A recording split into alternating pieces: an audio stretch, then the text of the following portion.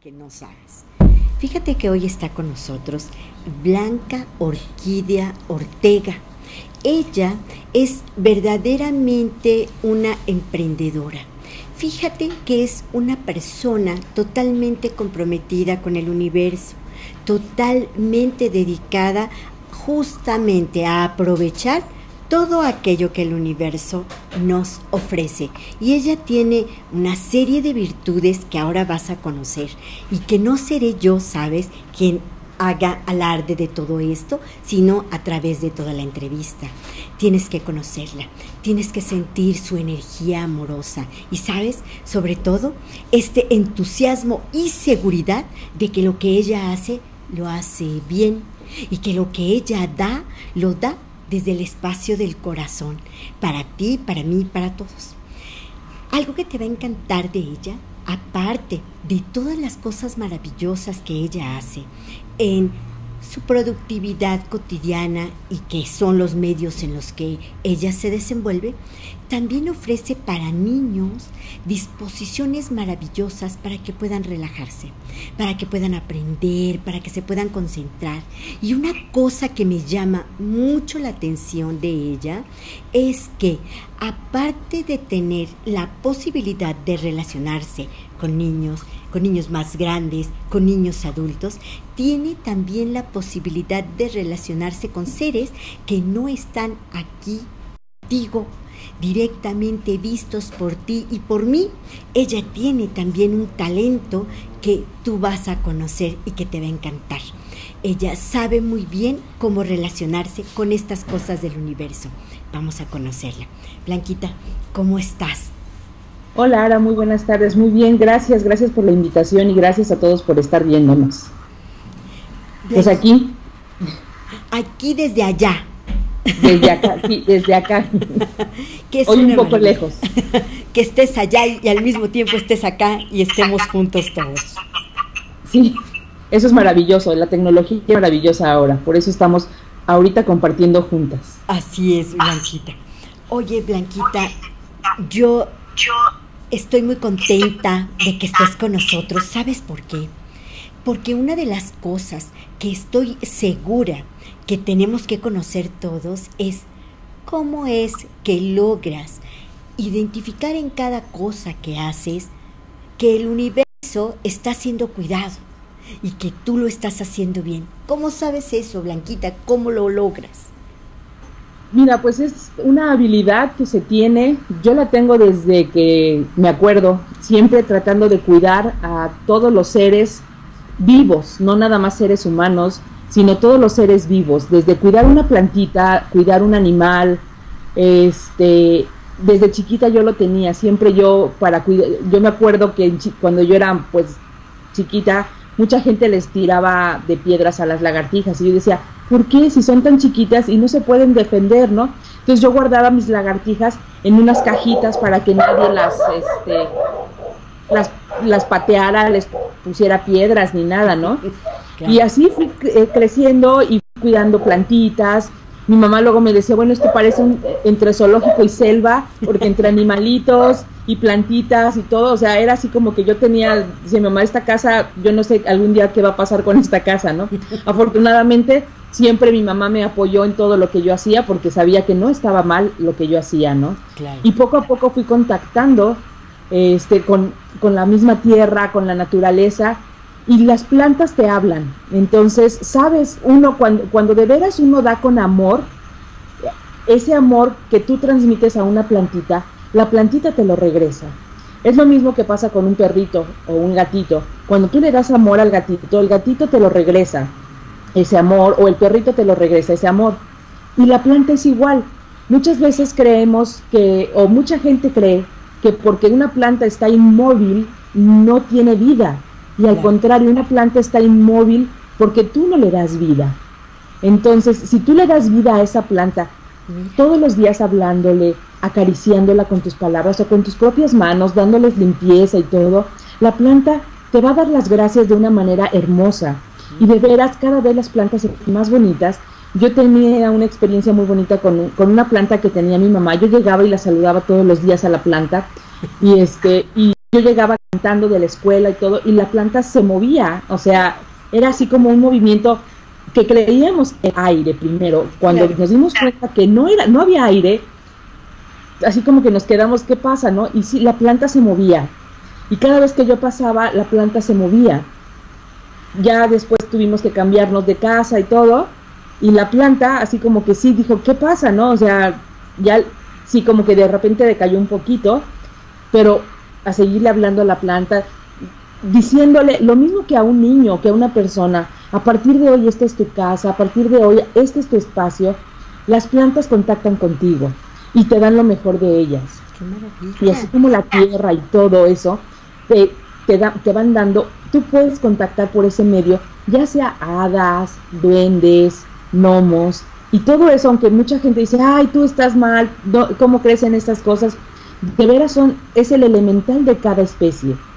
Y si un perro te da las gracias moviendo la cola, un gato te da las gracias maullando, una persona te da las gracias dándote las gracias o obsequiándote su sonrisa, una planta te da las gracias a través de un duende, a través de una de, de, su olor también, ¿no? Las flores y las plantas huelen. Y eso a mí me, desde chiquita yo lo, lo viví y me ha seguido gustando y sigo haciendo las mismas cosas y, me encanta, me encanta mucho porque porque cada vez que yo hago algo que sé que está bien, eh, ese algo me, me, lo, me lo retribuye de alguna manera. Y esa manera pues es que la planta cada vez o está más bonita, o huele más, o crece. Y entonces eso me gusta a mí mucho. Por eso sé que hago bien las cosas y cada vez que contacto con algo nuevo, eh, siento así en mi corazón, cuando, cuando mi corazón late así de una manera especial, digo, está bien, es lo, voy en buen camino de lo que estoy haciendo, sea para ayudar a la gente o para ayudar a algo o hacer algo diferente en mi vida. Si me late así bonito el corazón, digo, voy bien. Si de repente siento así como, ay no, hay algo que no me latió, pues mejor cambio de rumbo, ¿no? O sea, digo, a ver, vamos a ver las opciones y vamos a ver qué es lo que estoy haciendo bien o qué estoy haciendo mal para no sentirme bien con lo que estoy haciendo. Por eso sé que estoy bien en lo que hago. Qué maravilloso. Es tu intuición, a fin de cuentas, Blanca. Exacto, sí. Y es hacerte caso, creer en esto que estás viviendo, en esto que estás sintiendo y a partir de eso poder identificar cuál es el resultado de todas las actividades que estás llevando a cabo. Exactamente, exactamente. Tu intuición es muy buena, o sea, no nos enseñan muchas veces desde niños a seguir nuestra intuición. Al contrario, no, no, o sea, estás mal, no como crees. Y eso no es bueno, ¿por qué? Porque a través de eso nosotros nos damos nuestros propios permisos y nosotros nos decimos, vamos bien, o luego muchas veces la gente dice, es que estás mal y le hacemos caso a la gente y no sabemos que a lo mejor sí estábamos bien. La gente muchas veces nos los dice por querer ayudarnos. Pero este, muchas veces digo, híjole, esto hubiera estado mejor si yo lo hubiera hecho así como yo hubiera pensado, como lo pensé desde el principio, ¿no? Entonces hay que hacer caso a nuestra intuición y sí hacer caso también a la gente que tiene más experiencia que nosotros. Claro, por supuesto. Una hermosa combinación. Nuestra intuición también nos puede indicar que aquel consejo, aquello que nos está entregando esta persona está justamente adecuado a nosotros. ¿Lo has escuchado? ¿Qué te ha parecido? Es Blanca, Blanca Orquídea con nosotros. Oye, Blanquita, y algo que me encanta, esto que nos acabas de decir. Si yo realmente estoy conectada con lo que estoy haciendo y le doy a una planta mi cariño, mi confianza, ella va a regresarme lo mismo, con diferentes elementos. Exactamente. Sí, sí, sí. La planta nos da diferentes elementos, nos da olor, nos da de repente si tienes un árbol en tu casa, te da sombra, este, y los elementos que tiene la naturaleza, la tierra, el agua, son elementos como los duendes, las hadas, y esos elementos nos ayudan mucho en nuestro diario, ¿sí? En nuestras cosas diarias que tenemos que hacer. Por ejemplo, en una casa a veces se desaparecen cosas y uno dice, pero ¿qué pasó? O sea, si yo tenía aquí mi celular, ¿por qué estás tú segurísima de que el celular está ahí? y el celular no aparece, ¿no? Y de repente te aparece el celular en otro lugar y dices, no pude haberlo dejado yo ahí. O sea, estás muy consciente que lo que estás haciendo no era poner el celular, por decir, eh, adentro del horno, sino tu celular lo habías puesto en la mesa porque es un lugar donde tú ocupas ese, ese, ese celular, ¿no? Entonces, muchas veces tenemos elementos en nuestra casa, en nuestro entorno, que nos hacen travesuras, pequeñas travesuras para decir, hey, aquí estamos, ya sea cuídame, quiéreme y yo estoy contigo, ¿sí? Entonces, esos elementos siempre, siempre están con nosotros, muchas veces no les hacemos caso, la mayoría de las veces no les hacemos caso y decimos, ay, quién sabe por qué fui a dejar esto aquí adentro del horno o yo, si yo había dejado las llaves encima de la mesa y aparecieron en el sillón, yo no las dejé ahí. Esas son pequeñas travesuritas que nos hacen. Para qué? Para decirnos, aquí estoy, hazme caso, y yo estoy contigo y si tú estás conmigo, podemos vivir y convivir en este planeta que también es de ellos. Qué cosa tan bonita. Blanquita, porque no es fácil saber de pronto que están por aquí ciertos seres que no puedo ver, que conviven conmigo y que me están pidiendo que seamos uno para poder ser felices y disfrutar del universo. Blanquita, no, no es fácil. No, no debe serlo. Y platícanos un poco. Cuando tú haces talleres con niños, para que se puedan relajar, para que puedan convivir entre ellos y no pelear, por ejemplo. Y de pronto resulta que están los duendes o las hadas también conviviendo con los niños. Sí. ¿No se complica? No, porque tú les enseñas a los niños a convivir con ellos. Normalmente, si te has fijado, los niños siempre tienen un amigo imaginario. Así es.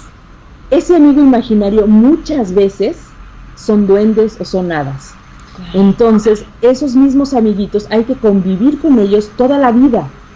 ¿Sí? Entonces, les enseñamos, les enseño a convivir con ellos, a que si tienes un amiguito imaginario, sigas con tu amigo por siempre y cómo convivir con él. Hay que detectar cuando de veras existe o cuando de veras sí es imaginario, ¿no? Porque muchas veces eh, deja de ser imaginario. Normalmente todos los niños vemos cuando somos niños este, este tipo de seres. Llega un momento en que, no, ya no, no digas eso, tú no tienes a nadie imaginario, el papá siempre nos está diciendo, la mamá nos está diciendo que eso no existe, ¿no?